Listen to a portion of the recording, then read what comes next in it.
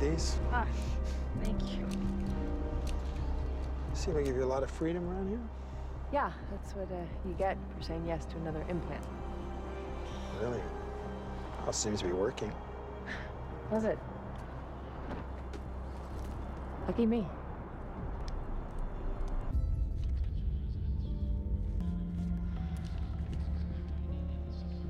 Is everything all right? Everything's fine. What did Dr. Hood say to you?